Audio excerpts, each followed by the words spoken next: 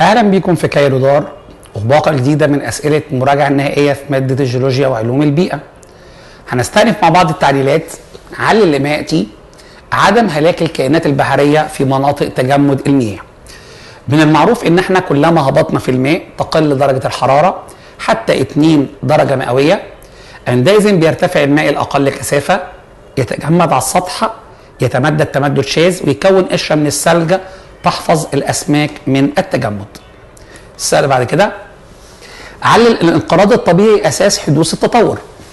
ليه الانقراض الطبيعي بيؤدي للتطور؟ الانقراض الطبيعي بيتم ببطء وبتدرج وبطريقة غير محسوسة وينتج عنه اختفاء كائنات غير قادرة على التكيف وظهور كائنات جديدة قادرة على التكيف.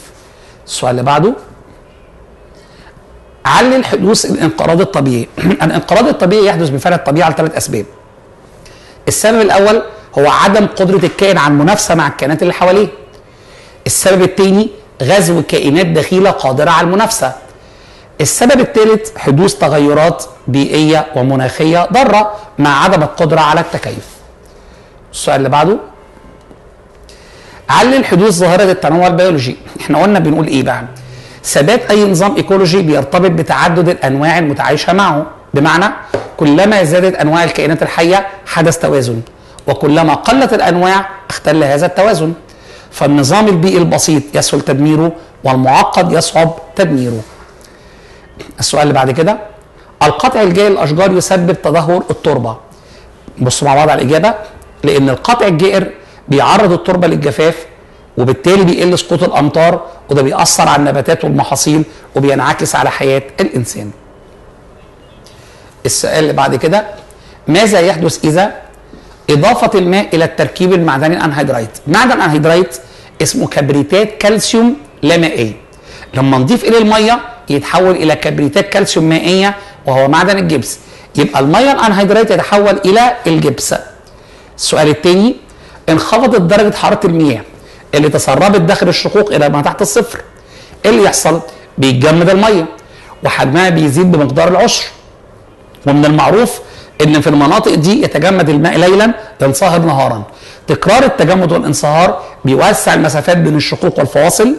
تفتت الصخور تسقط بتأثير الجاذبية وتكون منحدر ركامي السؤال اللي بعده اصطدام نهر ببحر تياراته شديدة. إيه اللي يحصل تكتسح أمواج البحار ما يرسبه النهر ويصبح البحر مجرد مصب عادي. يعني مش هيتكون دلتا في رقم ثلاثة السؤال اللي بعد كده. اصطدام النهر في مرحلة الشيخوخة بعائق أو طفح بركاني. نهر ماشي بطيء خبط في عائق أو طفح بركاني. النهر سرعته تزيد يبدأ ينحت من جديد ويكون شرفات نهرية وهو ما يعرف باسم مرحلة تصابي الأنهار. مرور تيار نهر في مساقط مائية على حفر مليئة بالحصى والجرانيت. لما تيار النهر يمر على الحفر اللي فيها حصى وجرانيت يدور الحصى على شكل دوامات مما يؤدي إلى تعميق الحفرة وصقلها السؤال اللي بعده تم رفع الأحمال من فوق صخر ما فجأة؟ لما رفع أرفع حمل من فوق الصخره الصخر يتمدد وينفصل منه أجزاء. زي صخر الجرانيت اللي بينفصل منه أجزاء على هيئة قشور كروية فتعرف هذه الظاهرة باسم ظاهرة التقشر. السؤال اللي بعد كده.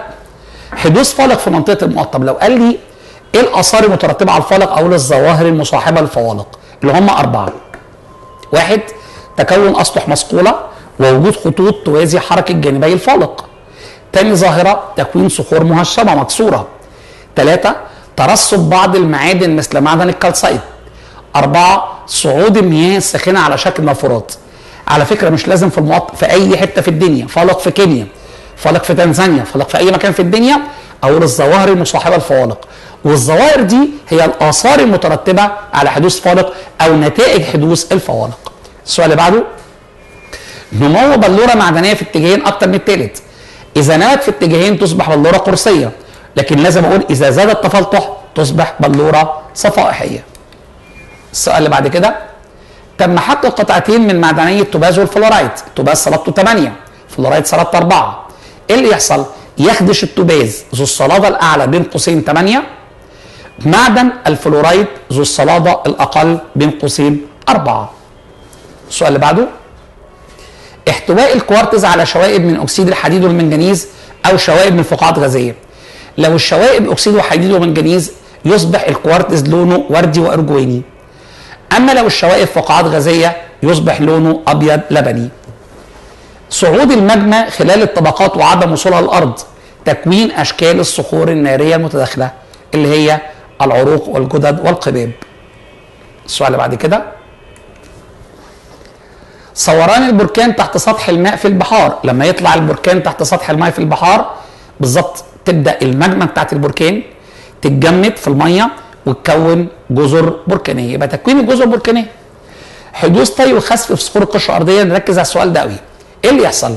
يتكون جبال وطبعا هو ما يظهر بها من قارات أو تختفي بعض القارات تحت مياه المحيطات وفي الحالتين البحر بينحسر عن جزء من اليابس فتظهر مسطحات من أرض لتكون مناطق منبسطة أو يغمرها يغطيها فتنشأ مسطحات مائية جديدة تغطي مساحات متفاوتة. طيب سؤال تاني. دفنت بقايا نباتية أهي بمعزل عن الهواء في باطن الأرض لفترة طويلة. البقايا النباتية لما تنزل تحت الأرض المادة الطيارة بتتطاير منها وتكون رواسب الفحم أو الكربون وهو الرواسب العضوية.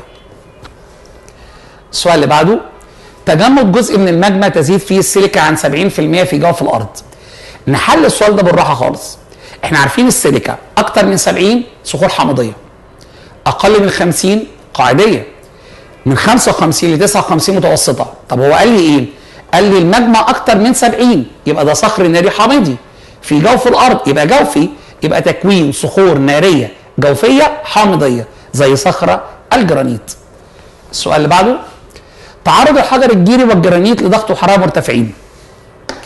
إحنا عارفين إن الصخور المتحولة أصلها كانت يا نارية يا رسوبية. الحجر الجيري صخر رسوبي بالحرارة عالية يحصل له إيه؟ يتغير تركيبه المعدني والنسيج ويتحول إلى صخر متحول يسمى الرخام. أما الجرانيت بيبدأ تركيبه المعدني ونسيجه برضه يتغيروا ويتحول لصخر متحول يسمى النيس. 17 انتقال الأقاليم المناخية عن مداراتها نتيجه زحزحة قبال الأرض. يعمل إيه؟ حاجتين. واحد ده بيأثر على الكائنات الحية إما بالتكدس أو بالندرة أو بالهجرة. رقم اثنين ده بيؤدي أيضا لحدوث تغيرات وراثية. وظهور كائنات جديدة قادرة على التكيف مع الظروف البيئية الجديدة. السؤال اللي بعده ضغطت الصخور النارية الخارجة من فوهة البركان على الصخور المحيطة بها فترة طويلة. لما الصخور النارية تطلع تضغط على الصخور اللي حواليها إيه اللي يحصل؟ هتغير من تركيبها المعدني ونسيجها وتحولها إلى صخور متحولة. السؤال اللي بعده زاد البخر ونقصت الأمطار. الأمطار قلت والبخر زاد والمصبات قلت. إيه اللي يحصل؟ ترتفع ملوحه البحار. طب ما الرعي في منطقة الأعشاب؟ إحنا عارفين الرعي في مناطق الحشائش والأعشاب يعمل ضررين. أول حاجة إزالة الغطاء النباتي. اثنين انتشار أنواع نباتية غير مستساغة. تدهور الغطاء النباتي بفعل الرعي الجائر. ده بيؤدي لتدهور التربة الذي يرافقه غالبا تدهور المناخ المحلي وده بيؤدي إلى انجراف التربة وتصحرها. السؤال اللي بعده اختفاء البكتيريا الرميه والفطريات من النظام الإيكولوجي لو ما فيش كائنات محللة إيه اللي يحصل؟ طبعا الكائنات الميتة لن تعود على مسار التربة التربه تبقى مش خصبة فلن ينمو نبات تختفي الحياة ويحصل خلل في النظام الإيكولوجي. السؤال اللي بعده حدوث تغير كبير في النظام البيئي. النظام البيئي لما يحصل تغير بيعمل إيه؟ يعيد توازنه. بس يعيد توازنه بعد فترة يا صغيرة يا إما طويلة حسب قوة المؤثر. فإذا حصل تغير كبير يستعيد النظام الايكولوجي توازنه بس بعد فترة طويلة. 24 عندما يشكل هيليوم نصف وزن الشمس على طول تتوقف التفاعلات النووية الاندماجية في الشمس. السؤال رقم 25 زراعة محصول واحد لعدة سنوات متتالية في التربة. طبعا ده من أحد أسباب استنزاف التربة الزراعية. يبقى زراعة محصول واحد عدة سنوات على نفس التربة يؤدي إلى استنزاف ونقص العناصر الغذائية بالتربة وبالتالي استنزاف التربة الزراعية. تعديل البيئة بيعمل إيه؟ يؤدي إلى انقراض العديد من أنواع النباتية والحيوانية. قلنا قبل كده أدى تعديل البيئة في أعالي النيل والدلتا إلى اختفاء كائنين مميزين هما نبات البردي وطائر أبو منجل المقدس. زي إيه تعديل البيئة؟ زي قطع أشجار الغابات تحويل مجرى الانهار حفر المناجم إقامة السدود تجفيف البحيرات كل الحاجات دي تعتبر تعديل للبيئة. السؤال اللي بعد كده تكلم عن مرحلة تصابي الأنهار لإعادة الشباب. دي أسئلة عامة. السؤال الأول بيقول لي بقى إيه؟ عايز أتكلم عن تصابي الأنهار. أنا عندي عوامل جيولوجية. ممكن النهر وهو في مرحلة الشيخوخة يرجع شباب تاني. إيه اللي يحصل؟ إذا اصطدم النهر بعائق أو اصطدم بطفح بركاني يبدأ النهر ينحد من جديد وسرعته بتزيد ويبدأ يكون ما يسمى باسم الشرفات النهرية. طبعا بيزيد انحدار النهر زي ما إحنا شايفين وتزداد سرعته ويستأنف تعميق مجراه وتقل أهمية التآكل الجانب الجانبي إن لم تتوقف نهائيا. ما المقصود بكل من؟ المستوى القاعدي للنحت. المستوى القاعدي للنحت هو المستوى المسطح الذي تعمل العوامل الخارجية على الوصول إليه ويتساوى مع سطح البحر. اثنين الأخوار. الأخوار عبارة عن مجاري مائية ضيقة تتصل مع بعضها تنشأ نتيجة انحدار أمطار غزيرة على مناطق مرتفعة. ظاهرة أسر النهر. ظاهرة تنشأ عن تفاوت أفرع النهر في النحت فالفرع ذو النحت القوي يصبح مصبا للفرع ذو النحت الضعيف. الحفر الوعائية. عمل هدمي للمساقط المائية. وهي حفر مليئة بالحصى والجلاميد عند مرور تيار النهر عليها يدور الحصى والجلاميد على هيئة دوامات مما يؤدي إلى تعميق الحفرة وصقلها المياندرز هي تعرجات أو التواءات يصنعها النهر. نتيجة نحته في جانب أكثر من الجانب الآخر بسبب اختلاف نوع الصخور على جانبيه. الرمال السوداء. الرمال السوداء يا جماعة أحد أنواع الرواسب الميكانيكية. توجد شمال الدلتا بين رشيد غربا ورفح شرقا. عثر بها لقينا فيها عنصر اليورانيوم ضمن معدن المونازيت مع الالمنايت والماجنتايت ويستخدم اليورانيوم كمصدر للوقود النووي. السؤال اللي بعده اذكر عوامل التجوية الميكانيكية والكيميائية. أنا عندي التجوية الميكانيكية لها نوعين من العوامل فيزيائية وحية. الفيزيائية أول عامل تجمد المياه في الشقوق والفواصل. بيحدث في المناطق الجبلية الباردة. وفق قاعدة علمية بتقول عندما يتجمد الماء يزداد حجم مقدار العشر ومن المعروف إن الماء بيتجمد ليلا ينصهر نهارا. تكرار التجمد والانصهار بيوسع المسافات بين الشقوق والفواصل افقيا وراسيا. الصخور تتفتت تسقط بتأثير الجاذبية الأرضية تكون منحدر ركابي العامل الثاني هو التمدد الحراري والانكماش. يحدث في المناطق الصحراوية الجافة أو نتيجة حرائق الغابات. الصخور بتتمدد بالحرارة تنكمش بالبرودة. تكرار التمدد والانكماش بيفكك الصخر لأنه بيضعف من قوى التماسك. السؤال الثالث عامل التمدد الناتج من تخفيف الحمل. إحنا قلنا لو عندي طبقتين صخور فوق بعض عند رفع الأحمال من فوق صخر ما فجأة فإن هذا الصخر يتمدد وينفصل منه أجزاء. زي صخر الجرانيت اللي بينفصل منه أجزاء على هيئة قشور كروية فتعرف باسم ظاهرة التقشر. أما العوامل الحية عندنا حاجتين نبات وحيوان النبات بيمد جذره في التربة فبيفكك الطبقة السطحية وبعض الحيوانات زي الحشرات والديدان بتحفر انفاق تحت الأرض بتسبب تهوية التربة. طيب نتكلم عن عوامل التجوية الكيميائية. التجوية الكيميائية عبارة عن إيه؟ تحلل الصخور عن طريق تغير تركيبها المعدني بإضافة أو إزالة عنصر أو أكثر فيتغير التركيب الكيميائي. عواملها ثلاثة التميؤ والكربنة والأكسدة. طبعا قبل ما نتكلم عن الثلاث عوامل إحنا عندنا في قاعدة بتقول إن مش كل الصخور بتتأثر بالتجويه بدرجه واحدة. القاعدة بتقول كلما زاد الاختلاف بين ظروف تكوين المعدن وظروف البيئة السطحية زاد تأثير التجويه. المثال بتاعنا صخر الجرانيت بيتكون من ثلاث معادن مايكا فلسبار كوارتز.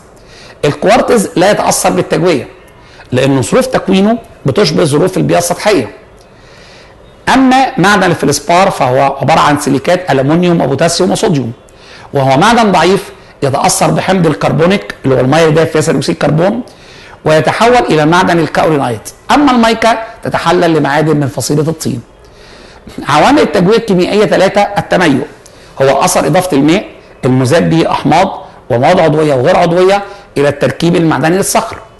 زي تحول معدن anhydrite إلى جبس. الكربنه أثر إضافة الماء المذاب به ثاني أكسيد الكربون إلى معادن الصخر. زي صخر الحجر الجيري.